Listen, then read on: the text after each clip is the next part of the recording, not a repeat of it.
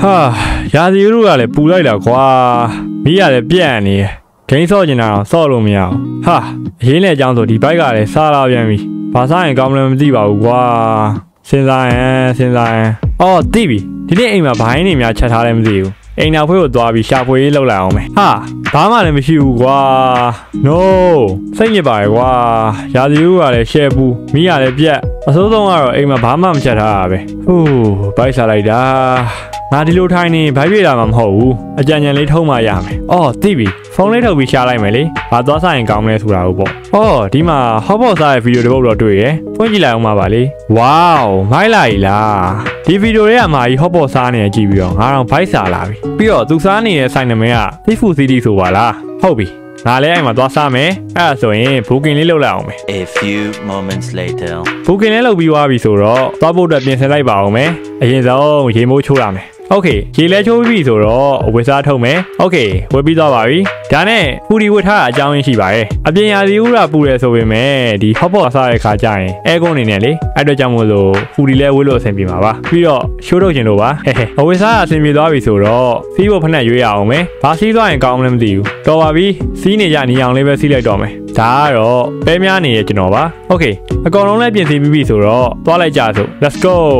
ရန်ကုန်မြို့ရဲ့ညနေခင်းလေးကတော်တော်လေးကိုလှပါတယ်ဒီနေ့ကားသိမ့်မကြဘူးပဲ တော်ပါသေးတယ်အဲ့မှာကန်အားလဲစိုးကျင်တော့တငယ်ချင်းတယောက်ကိုဝင်ခေါ်တဲ့အချိန်မှာစီးလာရဲ့ကားရုတ်တရက်ကြီးပြတ်သွားပါတယ်အဲ့ဒါနဲ့ကားကိုပြန်လဲပြီးဆက်သွားလိုက်ရပါတယ်ဂျားထဲမှာနိုင်ဝက်လောက်တော့အချိန်ပုတ်သွားတာပေါ့နော်မိနစ်နည်းငယ်ကြာတော့အရန်အရန်ကိုမိုက်တဲ့ဟော့ဘော်ဆိုင်ရှိကျွန်တော်ရောက်ရှိသွားခဲ့ပါတယ်ဆိုင်ကြီးကတော်တော်ကြီးကြီးရယ်ပြီးတော့ဝင်းပေါက်နားမှာလည်းငါးကန်အကြီးရှိရယ်ငမန်းနဲ့တူတဲ့ငါးရီပြီးတော့ရိုးရိုးအလှဝင်းငါးရီလည်းမျိုးစုံရှိရယ်ပေါ့နော်အဲ့ဒါနဲ့ကျွန်တော်လည်းဆိုင်ထဲကိုဝင်သွားလိုက်ပါတယ်အထဲကိုရောက်တာနဲ့ luxury ဆန်တဲ့ခံစားချက်မျိုးကိုရရှိပါတယ်အပြင်စင်နေရလဲတော်တော်လေးကိုလှတာအဲ့လိုနဲ့ကျွန်တော်အပေါ်တက်သွားလိုက်ပါတယ်ဝေါဆိုင်တွင်းမှာတော်တော်ကြီးကိုမိုက်တာပြီးတော့အကျယ်ကြီးပဲပြီးတော့ဆိုင်ရမာကြီးတွေကကျွန်တော်တို့ထားရမယ့်နေရာကိုလိုက်ပို့ပေးပါတယ် A few moments later. မိနစ်နည်းငယ်ကြာပြီးတဲ့အချိန်မှာတော့ဆိုင်ရမာတွေကကျွန်တော်တို့စားဖို့အတွက်ဟော့ပေါ်တွေလာချပေးပါတယ်ကျွန်တော်ကတော့မာလာရလာကိုမှာခဲ့တာပါကျွန်တော်စားစရာတွေဘာမှမယူသေးခင်မှာဆိုင်လက်ဘက်ကိုရင်ပတ်ကြည့်ခဲ့ပါတယ်ကျွန်တော်အန်ဩသွားစေတဲ့အရာ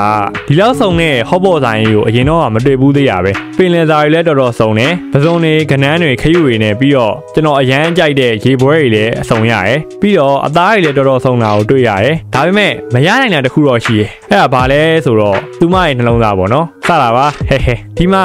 အခြားဟင်းပွဲတွေလည်းတော်တော်စုံတာကိုတွေ့ရတယ်အတုတ်ထောင်းတွေအကင်တွေပြီးတော့ကျွန်တော်မသိတဲ့ဟင်းပွဲတွေလည်းမျိုးစုံရရှိရပေါ့နော်ပြီးတော့အပြင်မှာဈေးကြီးပေးစားရတဲ့ဂျပန်အစားအသောက်တွေကိုလည်း ဘူဖေးအနေနဲ့စားရတာဆိုတော့ပေးရတဲ့ဈေးနဲ့တော်တော်လေးကိုတန်နေပြီအနောက်တိုင်းစားစာတွေလည်းအများကြီးရတယ်ပြီးတော့ကလေးတွေအကြိုက်မုတ်တွေလည်းစုံစီနေရောပဲအသီးရက်တွေကလည်းတော်တော်လေးကိုလက်ဆက်တယ်ဗျ drink အပိုင်းမှာဆိုရင်လည်းတော်တော်စုံတယ်ပြီးတော့ kitchen နဲ့အကိုကြီးမာကြီးတွေရှိရင်လည်းဒီမှာ စုံရရှိရပေါ့နော်ဟဲဟဲ okay အဲ့ဒါဆိုရင်စားဖို့အတွက်ယူလိုက်ပါအောင်မယ်အရင်ဆုံးကျွန်တော်အရန်ကြိုက်တဲ့ရေပွဲလေးတွေကိုအရင်ထည့်လိုက်ပါတယ်ပြီးတော့ဒိုရီငါးသားလွာဆိုတဲ့ဟာကိုလည်းယူလိုက်ပါတယ်ကျွန်တော်တခါမှမစားဘူးလို့ပါပြီးတဲ့အခါမှာတော့ကျွန်တော်အရန်အရန်ကိုကြိုက်တဲ့ salmon လေးကိုလည်းယူလိုက်ပါတယ်ဒီက salmon တွေကတော်တော်လေးကို fresh ဖြစ်တာတွေ့ရတယ်နောက်တော့ပဲလေးတွေလည်းယူခဲ့ပါတယ်အသီးရဲ့အနေနဲ့ကြတော့ကျွန်တော်ရေကြီးနဲ့အာလူကိုပဲထည့်ခဲ့ပါတယ်အသားတွေကိုလည်းအများကြီးယူခဲ့ပါတယ် မဲသားတွေသုံးထပ်သားတွေအသားလုံးတွေကလီစာတွေသုံးလင်းသွားယူခဲ့တယ်ပြီးတော့ကျွန်တော်ကိုလာသွားထည့်ခဲ့ပါတယ်ဒီမှာကိုလာလည်း free ပါဒါနဲ့စကားမဆက်ကျွန်တော်အမြဲလှုပ်ရှားနေကြဖြစ်တဲ့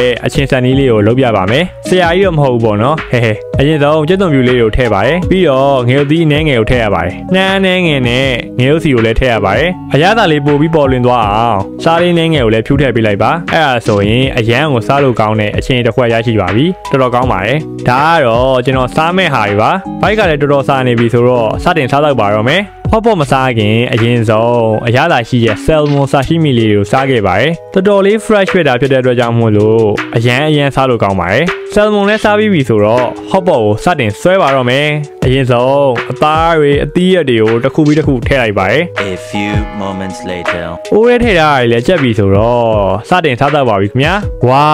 တော်တော်လေးစားကောင်းတာပဲ။အသားတွေရောအရက်တွေရောဟာရှယ်ပဲ။အရသာတော်တော်လေးကောင်းတာဖြစ်တဲ့အတွက်ကြောင့်မို့လို့ဘိုက်ဆာဆာနဲ့တစ်ခုပြီးတစ်ခုစားခဲ့ပါတယ်။ဟော့ပေါ့ကို